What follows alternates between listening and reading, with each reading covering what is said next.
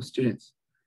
Um, my fellow researcher Vitor Pedrosa and I, as Dr. Yielding said, were part of the annual math research program. And so we got to present at the Pacific Inland Mathematical Undergraduate Conference, as well as this symposium. So we'll be discussing knots, stick knots, and pseudo stick knot projections. All right, so without further ado, what is a knot? Most people would think of something you'd use to tie your shoes, but mathematically speaking, it is slightly different. Essentially, in mathematics, a knot is formed by taking an infinitely thin piece of string, tying a knot in it, and then gluing the ends of the string together. So here we see a table of all the knots uh, with up to nine crossings. And um, they get progressively more and more complicated as the number of crossings increases. And it begins with the unknot, which is just a single loop. Then right next to it, we'll see uh, what is called the trefoil knot or overhand knot. Right. So the motivation to begin studying knots began when William Thomson, also known as Lord Kelvin, suggested that different uh, atoms were actually different knots tied in the ether that was believed to permeate all space. While this was subsequently shown to be untrue, um, it was not before an interest in knots was sparked in mathematicians for centuries to come. So not only is knot theory a uh, fascinating discipline in and of itself, but it's also uh, has a wide range of other applications, such as electrodynamics, synthetic chemistry, and theoretical physics, just to name a few. One example in synthetic chemistry is that of DNA, which is the molecule that encodes genetic information in our bodies. Long strands of DNA have to fit into the tiny nucleus of our cells, and this is much like trying to fit 200 kilometers of fishing line into a soccer ball. As you can imagine, this is, uh, can sometimes interfere with the function of DNA. But what biochemists have found is that there are actually enzymes within the nucleus of our cells that perform knot theoretic operations on the DNA, allowing it to fold and unfold in certain ways. So they have enlisted mathematicians to discover exactly how these enzymes work. And even though knot theory is a relatively new arrival to the mathematical scene, um, it has quickly found itself useful in a wide range of other mathematical fields such as topology and hyperbolic geometry. So now we'll move on to some definitions. A, a knot is a simple closed curve in three space. Here we see, once again, the trefoil knot, which can also be thought of as a union of infinitely many line segments, so many that it appears smooth. And that definition allows us uh, to more clearly see the relationship between a knot and a stick knot which is a knot in three dimensions made up of rigid line segments called sticks. So here on the right is what's known as the trefoil stick knot. And while it looks somewhat different than the regular trefoil knot, um, it actually corresponds to it, even though this is kind of spiky and this one is smooth, they can be said to correspond to another. And in fact, you can do uh, this with any knot. You can create a stick knot that corresponds to it.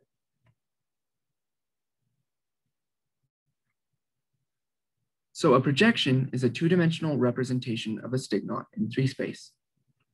So knots are three-dimensional objects. So we have to have a way to represent them on a piece of paper so we can more easily visualize them and manipulate them. And so we do this using projections. And we simply uh, represent parts of a knot that cross underneath another part of the knot uh, by making breaks in the line segment as shown here.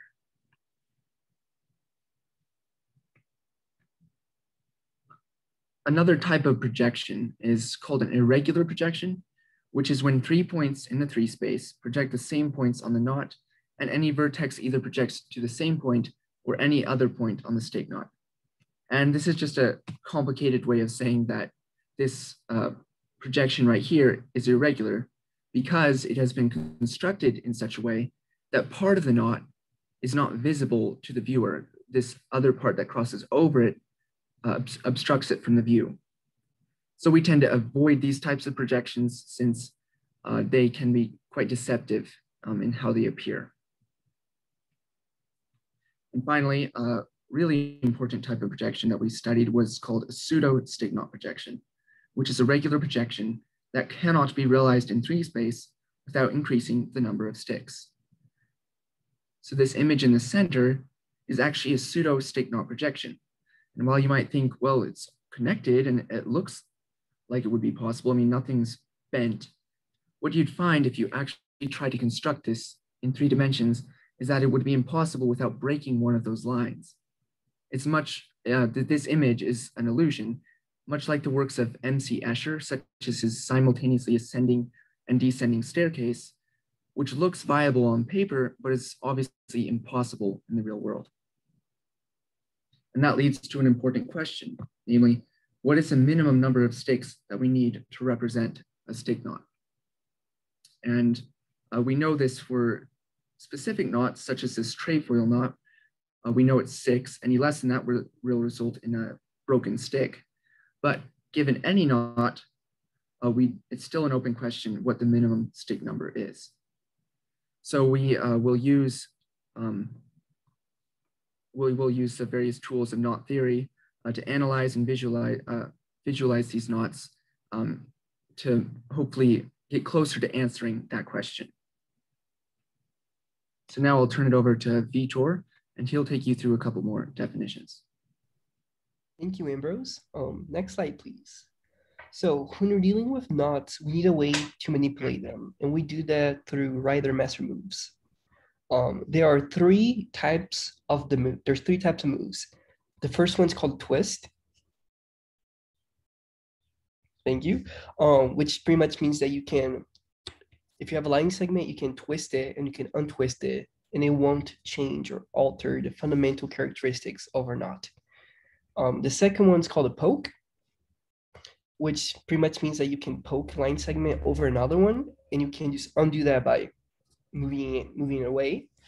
And the third type of Reidemeister move is called a slide, which means that you can slide a line segment over or under a different knot, and it won't change the fundamental characteristics.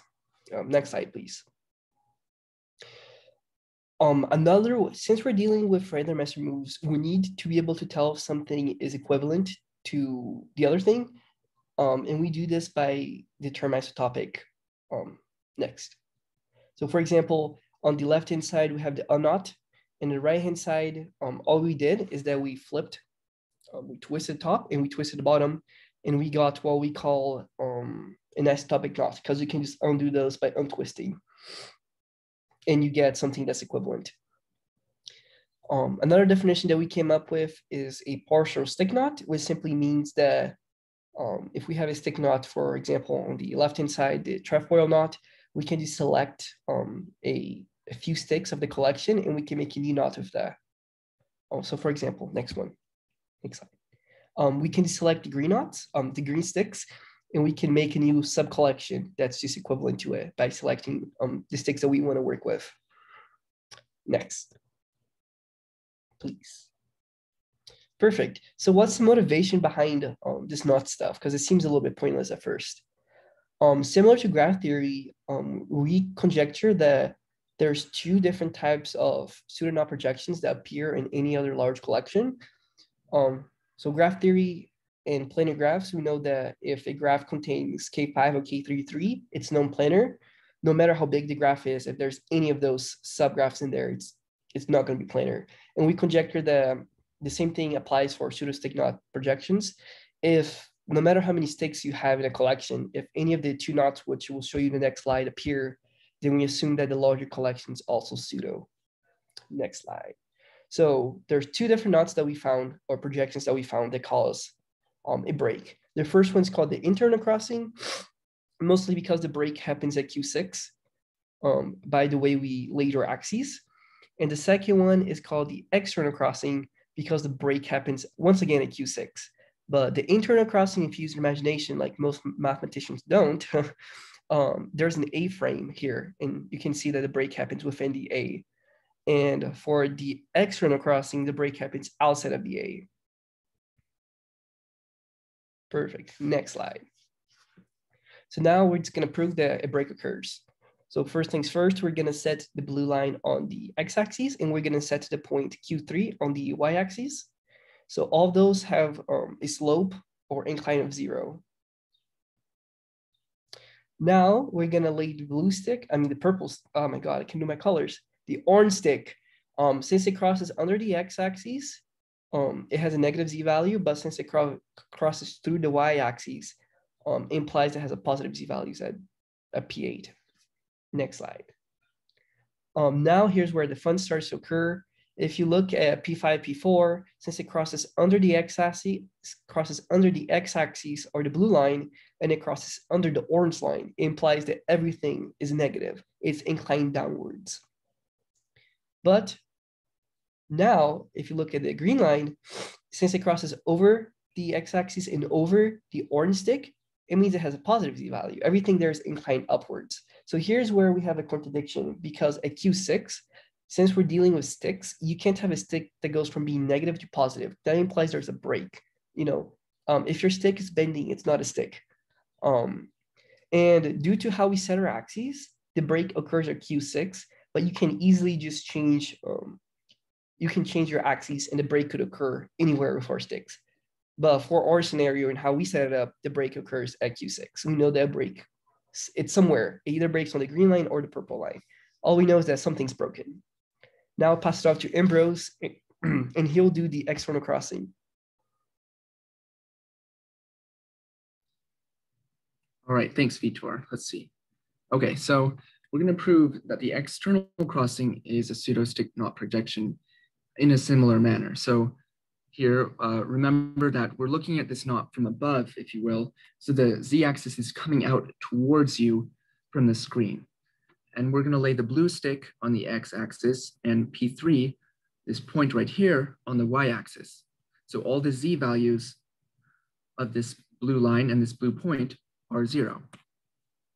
Now notice that this greenish line right here, P3, P7, crosses under the x-axis at Q2. So we know that it must have negative z values along this whole line, except for, of course, P3, which has a z value of zero. Okay, so this pink line, P2, P, uh, P2 P6, um, crosses under P3, P7 at Q1. So we know that Q1 must have a negative z value. Um, also, notice that P8, P4 crosses under the x-axis at Q4 and under P3, P7 at Q5. Therefore, we know that uh, Q4, Q5, this segment of the yellow line, must have negative z values. Uh, also observe that this pink line crosses over the x-axis right here. So we know that it must have positive z values. Um, therefore, we know that this segment of the stick from here to the end must have positive z values. However, this crosses underneath the yellow line. So in other words, the z values on this line at Q6 are positive while it's underneath it, and the line that's above has negative z values. And this is impossible. It contradicts the very definition of a line segment. The only way this would be possible is if this line which has positive z values, went from positive z values suddenly to negative z values, and then back to positive z values again. And that would create a break in the line, which again contradicts the definition of a line. So therefore, uh, by this contradiction, we know that the external crossing must be a pseudo stick knot projection. So now I'm going to hand it off to uh, Vitor and he'll finish this off. Thank you, Ambrose. Um, as mentioned before, we conjecture that every pseudo-stick knot projection has a partial knot projection that's isotopic to either the internal or the external crossing. So no matter how many sticks you have, if either of those um, partial knots appear in the collection, we conjecture that it's going to be pseudo as well. Next slide. So in our research, we also developed an algorithm which helps you find the internal and the external crossing. If you go to our next talk presented by Katie Ricker and Jose Orozco, you can see how it works. Um, that should be tomorrow at 11 a.m. So even though we accomplished a lot through our research, there are still some questions that remain. The first question is, are there more than two um, pseudo stick knot projections that cause a projection to be pseudo, or two partial stick knot projections? Um, we only found through two throughout our research, but there could be more. Second question is, how many sticks does it take to fix um, a pseudo stick knot projection? So we know there's a break that occurs, but how many sticks do we need to throw at it to make it not break or to fix or break? And how can um, fixing these projections help us find better lower bounds for stick knots? So we know for the trefoil with six, since five creates a, a pseudo projection, so how many sticks we need to add to our pseudo projection to cause it to be no, non-pseudo anymore. This could help us find better lower bounds for our sticks. And now I'd like to conclude. Um, we'd like to thank Dr. Amy Yielding, who taught us about knot theory and facilitated our research immensely. Our fellow researchers, Jose Orozco and Kaden Ricker, my cat, and the stick knots that give up their lives to be broken by research. Um, now I'll pass it off to Ambrose, and he can answer any questions. Okay, thank you. All right, let me make it so folks are able to unmute themselves as they so choose. So let's open up for any questions we might have. So I'm not super far in the math, so some of this did go over my head, but it sounds like basically the, the what you accomplished was showing that you have to add more sticks to make the stick knot projection work, like with the Z positive, Z negative thing, because otherwise it's just a bunch of lines that contradict themselves. Um, so yeah, that, um, which means that you're not able to use straight lines in those particular circumstances for that number of, uh, uh, what is it, angles, points? I forget. um, but uh, I was wondering uh, what further applications uh, might you uh, be able to do with a more accurate stick knot uh, projections? What we would hope in our research is that we um, we didn't complete. You know, there's a lot of still work to be done on this subject. But what our goal was is that um, with our research would help further along the steps toward being able to answer on the question of what the minimum stick number is uh, for a given stick knot, so that if you remember back at the trefoil, you know, we knew how many sticks is needed to represent this minimally, but um, for any knot, we want to find out what the minimum, minimum number of sticks is.